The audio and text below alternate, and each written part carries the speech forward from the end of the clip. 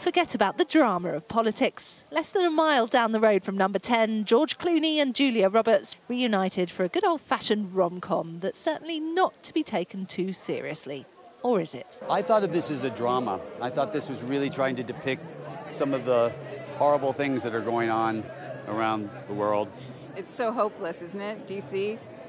It's hopeless. You cannot get a straight answer. I'm thinking about a Trojan horse sort of thing. We make her think we're okay with the wedding, and then once we're in, we get her to end it herself.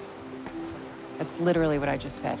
Playing warring exes who reunite to stop the wedding of their daughter to a seaweed farmer in Bali. Like in the film, I don't think there's a, a 30 seconds that go by that she doesn't say something humiliating about me, which it cracks me up. But in a in a nice in way. a very Yeah. rotten, nice way. Sometimes Yeah. subtle, sometimes not so subtle. Not so subtle. Although both now are married to other people, their big screen chemistry has seen them play husband and wife for over 20 years now. From Ocean's 11 and 12 through to this latest film, which was written especially for them.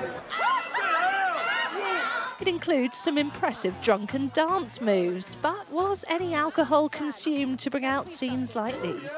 Not a drop. But Julia does a lot of drugs, so it really doesn't matter because she you can't drink and do those kind of hallucinogens. Yeah. a lot of mushrooms and things like that. No, we didn't. While the film couldn't be further away from politics, given their enduring popularity, how about some advice for our new Prime Minister on how to last a little longer than her predecessor? Well, is, isn't it day one? Yep. So, well, we, we as uh, as we always say, you wish the best because there's a lot of things coming up, a lot of a lot of big issues coming out, and a lot of uh, financial worries for the the whole country. So we all hope that she does her best, and we hope that there's uh, some great luck in it because it's a it's a tough time for everybody. But this is no women to be terribly clever, don't we, George? We do. A compliment of sorts coming from Hollywood royalty. Katie Spencer, Sky News.